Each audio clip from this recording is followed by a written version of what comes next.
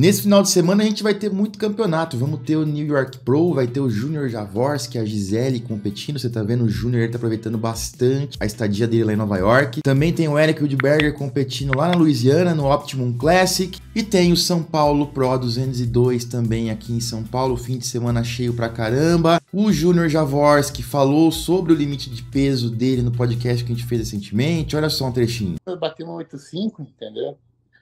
Então, assim, aquele 85, mas a gente nunca sabe dar. Sempre calcula um para baixo. Minha vida inteira eu virei pro, batendo no 84, um 84, um 84, então não dá para arriscar, né? Claro, Entendi. se for dar uma alongada ali, com certeza eu vou bater um 85, né? Se precisar. Mas eu prefiro não correr esse risco. Eu tenho uma margem boa ainda para bater, estou desidratando, entendeu? Eu sei que está saindo muita água, vai sair muita água. Entendeu? A água está saindo, o peso está baixando. Ó, eu cheguei, saí do Brasil com 112, 111. Hoje deu 107,8. Nossa, entendeu? cara, foi muita coisa embora já. Hora no banheiro, desidratando, o físico tá bem flat, pedindo para encher já. Então é o seguinte, o Júnior ele consegue até se medir pouquinho acima de 185 e isso garantiria para ele aí acima de 185 um limite de 109 quilos. Como ele joga na segurança, ele tá pensando lá na pesagem em até 185, cujo limite é 104 quilos. E agora há pouquinho ele mostrou aqui ele se pesando em casa, não é a pesagem oficial ainda, hein, pessoal? 103,5, a pesagem é daqui a pouco, então ele tá com o peso batido, né? Não tem o que falar. Aí ele mostra um pouquinho do físico atual dele, olha lá como é que tá hoje, com 103,5. E olha só quem apareceu lá em Nova York para acompanhar o Javorski de perto aí, o Pacholok, pegou o avião rapidão, tá para lá, porque eles entendem que o Javorski tem uma chance real de título nesse show, então eles vão fazer de tudo aí para garantir essa vaga nesse momento, que é muito importante. Quero falar aqui rapidão nosso patrocinador, a Growth 80% whey protein, whey protein concentrado, pacote de 1 kg, 24 gramas de proteína por dose, 5.4 gramas de BCAA, melhor custo-benefício do mercado, sem falar que o sabor é uma delícia. Os meus preferidos são cookies and cream e o chocolate com amendoim. Cara, compra chocolate com amendoim, só compra, depois você me fala. E também lembrando aí, temos creatina em estoque neste momento tem uma falta de matéria-prima no mundo, por isso que pode ser que você vá no site de vez em quando e não tenha, mas continua checando. E sempre lembrando, use meu cupom, o cupom SHAIN, você não tem ideia do quanto você contribui, quanto você ajuda o canal a continuar produzindo. Valeu, o link na descrição. Como eu falei, também tem o São Paulo Pro 212 aqui nesse final de semana, e o grande favorito é esse cara aqui, ó, Felipe Moraes, que sempre tá impecável, sempre tá perfeito, sempre tá extremamente seco, sempre tá no talo. Isso aqui é a atualização dele de ontem. E aqui ele foram stories que o Bodybuilders Without Borders compartilhou. Dá para ler na legendinha ali, vocês não vão ver que tá cortado, mas ele falava o seguinte: de alguns dias atrás, então a essa altura o Felipe já está um pouco melhor. E o que eu queria notar e fazer ali um destaque é que os quadríceps dele, os adutores, parecem também já um pouco maiores, hein, cara? O que é muito bom pro físico dele, o que é muito bom pro balanço como um todo. E olha só isso aqui, olha que coisa legal que acabou de acontecer. Esse é o Eric Wildberg, ele tá, ele tá lá em Shreveport, na Louisiana, ele vai competir o Optimum Classic lá. A gente conversou com o Eric lá no DC Backstage poucos dias atrás, ele falou desse campeonato, já tinha tudo planejado aí com meses de antecedência, e ele teve a oportunidade aí de participar junto com o promotor do show de um programa de TV lá nos Estados Unidos de uma rede local, cara. Isso é muito legal, isso é muito importante.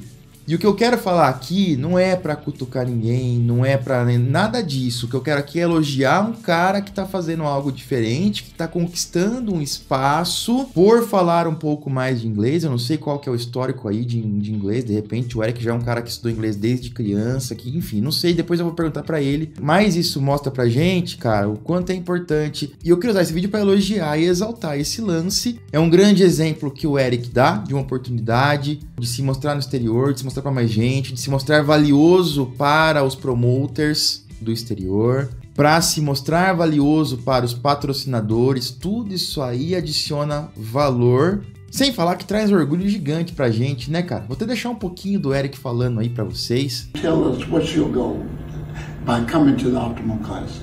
My goal is qualify to the O, be winning the show, like qualify for the biggest show in the league, you know, it's like a World Cup in the bodybuilding, it's the Mr. Olympia. So for me, it's a huge pleasure to be here with Robert Superman. I know it will be a great show. He put a lot of work in, the, in his show. I know it will be amazing. He treat the athletes very well. So I'm That's right. I'm very excited for this show, you know, because he's not just a promoter show for for me or other guys competing, but he he care about us, you know. He care about the athletes. So this is very important important for us, you know. So that's why I come from Brazil to competing here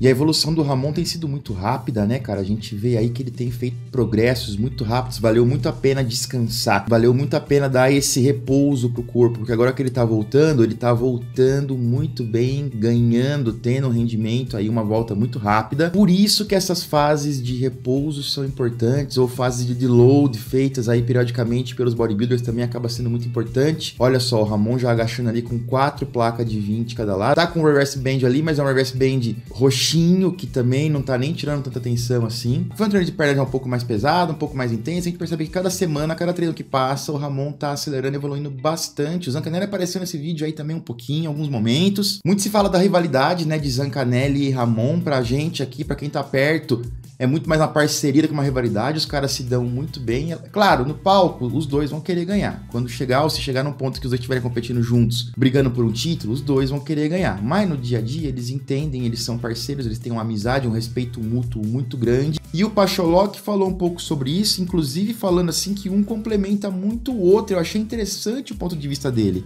Desde o começo, ainda quando os dois passavam dificuldade ali tudo, eu sempre vi um apoio.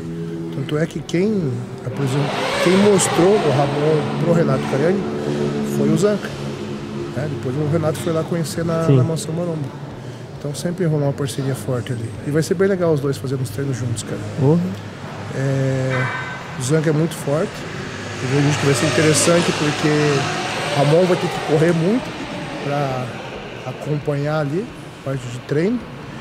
E o Ramon já tem uma visibilidade muito grande. Então eu acredito que principalmente lá fora a galera vai ficar, pô, pô, esse cara forte que tá treinando com o Ramon. Então acho que vai ser muito positivo pros dois, cara. É, com toda certeza dá pra dizer aí que os dois, em termos de físico, personalidade e, e enfim, eles complementam um ao outro. E colocá-los pra treinar junto vai ser bem interessante porque um acaba aí puxando ainda mais e motivando ainda mais o outro. Eu quero muito a sua opinião em relação a essa parceria Ramon Zancanelli. É o que o Pacho falou, vocês concordam, vocês discordam? Comenta aí pra mim. Vou ficando por aqui, daqui a pouco eu volto com mais vídeos pra vocês. Valeu!